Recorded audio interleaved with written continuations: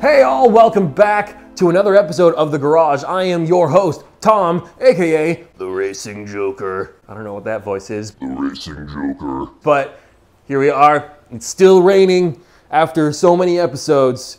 It's just the eternal rain of my life.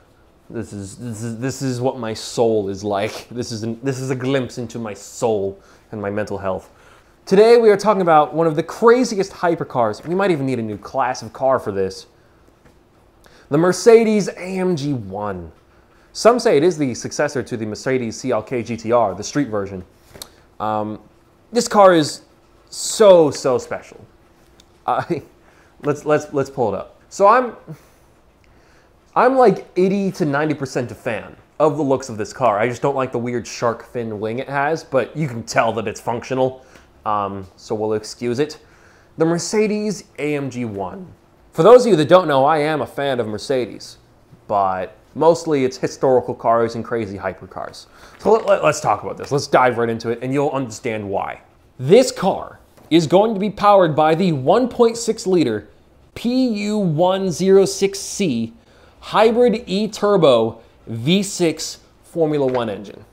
A Formula One engine. It is the V6, but who cares? I'm a big fan of engine swaps, even some of the most sacrilegious ones. But even before this car was being introduced, I've always wondered what it would take to get a low displacement, high revving engine like something out of a Formula One car in a road car. Like I've, I've pictured putting in like a bike engine into like a Lotus Elise or something or an Exige.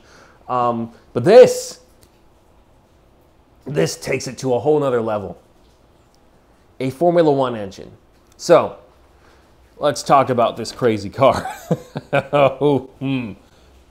This car is rear wheel drive, so it can kill you, but I'm sure it's got a lot of stuff going on to keep it under control. It revs up to 11,000 RPM instead of 14,000 like in the F1 car.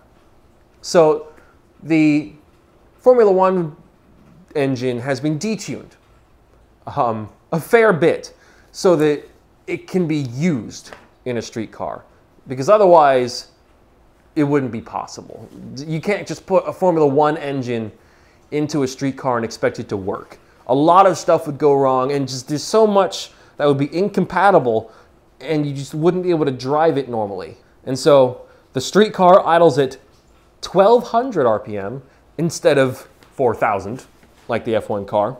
And this is something that's really cool in my opinion. Electric motors are used to spin the turbo and it cleverly reuses energy that is excess generated by the turbo. So this car is very efficient, very fast, and you can tell that they've spared no expense Spared no expense. and that this car will be outrageous. I mean, this is the sort of car that could earn Mercedes a place in the top three craziest manufacturers in the world. But who would Mercedes replace? I'll let you decide in the comments. So, moving on, it has three Formula One electric motors going up to 50,000 RPM each, 160 horsepower each. It's got two on the front axle, improving torque vectoring, and one MGU-K motor on the crankshaft. It's got a combined power, and we've got a range here, of 1,043 to 1,231. No slouch. It's got a 16 mile EV mode range. I don't know why anyone would be deranged enough to drive this in EV mode. That that is so much wasted potential and warrants that you should be shot by a marksman if you do it. So don't. I will come after you. It's got a single clutch, which is unexpected in my opinion. A single clutch, eight speed transmission. And so I don't know if I'll ever even get to sit in one of these, let alone even look at it or drive it, but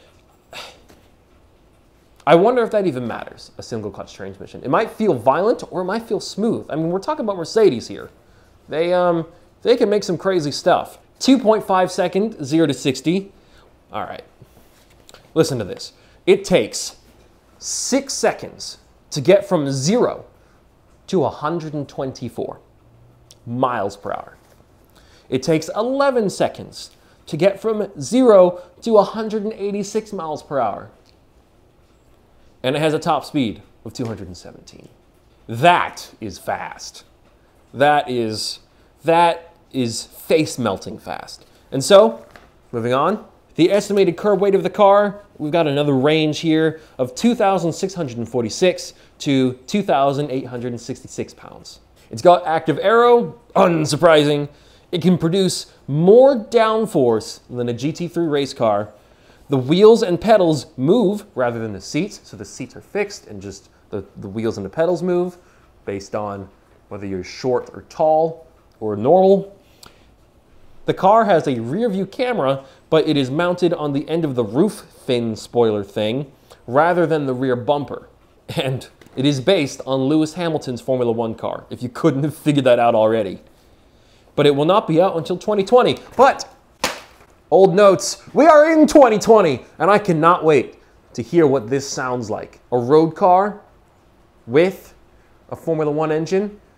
What does a Formula One engine sound like with a catalytic converter? You'd assume that a Formula One engine would just melt that. I mean, the exhaust is going to have to be made of Inconel or mithril or kryptonite. I don't know. Adamantium. It's, it's going to be insane. I'm, I am super excited about this car. Another fun fact that I recently found out that's not on the script is that the, the Mercedes badge on the hood, whatever you want to call it, is spray painted on to save weight and not compromise even the smallest amount of aerodynamic quality, which is that's the level of detail that goes into this car. And that's why this car could become the next king. King of everything, king of the track, king of the street, I wonder how I wonder how many they're gonna make though. Probably not many. I but if they make a bunch, if they make more than 20, that'd be cool. Well, thank you guys so much for watching today's episode of The Garage. Today we discussed the Mercedes AMG 1. I think it's really cool. Let me know what you guys think of this car in the comments. And by the way, give me suggestions of what to cover in future episodes. Um, just like in Car Explained, I take suggestions, and if I ever make a mistake or anything like that, uh, like let us know in the comments so that I can I can learn and everyone else can learn, so that no misinformation is spread, because that's not what I'm all about. I'm about spreading credible, correct information. Thank you guys so much for watching today's episode, and I will see you all next time. Take it easy and keep it crazy. Bye.